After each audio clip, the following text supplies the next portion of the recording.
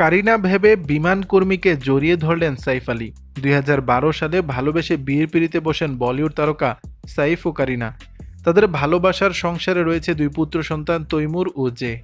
সংসার জীবনের কথা বলতে গিয়ে কারিনা বলেন, আমার দুই ছেলে তৈমুর ও জের তুলনায় তাদের বাবাই বেশি দুষ্টুমি করেন। সম্প্রতি সাইফ আলী খান বিমানবন্দরের সামনে একটি ঘটনা ঘটিয়েছেন, যা দেখে হতবাক অনেকেই।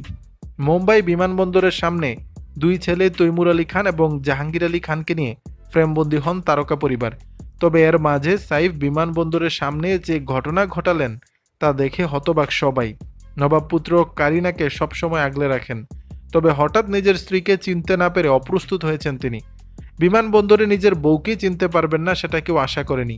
আসলে সেদিন কারিনার পরনে ছিল কুর্তা, তার উপর লাল রঙের একটি জ্যাকেট। ঠিক হুবহু একটি লাল জ্যাকেট পরেছিলেন বিমানবন্দরের একজন নারী কর্মী। তার সঙ্গেই কারিনাকে গুলিয়ে ফেলেন সাইফ। স্ত্রী কারিনা ভেবে জড়িয়ে ধরতে যান তিনি। সেই মুহূর্ত চোখ এড়ানি পাপরাজিদের। সঙ্গে সঙ্গে তা ফ্রেমবন্দি করেন তারা। নিজের ভুল বুঝে সাইফও হেসে ফেলেছিলেন। দর্শক, বিষয়টি নিয়ে আপনাদের মতামত জানাবেন নিচের কমেন্ট বক্সে